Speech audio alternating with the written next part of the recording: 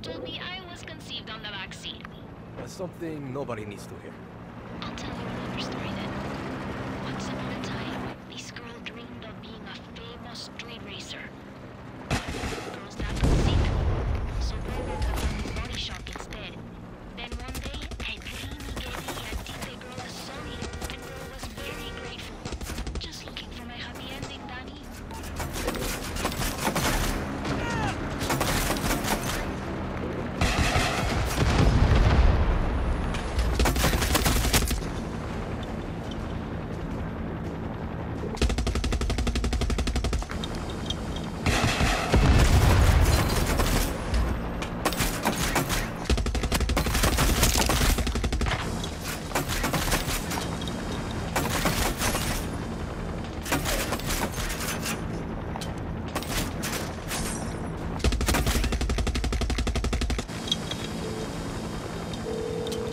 Yami, nothing between me and your car now.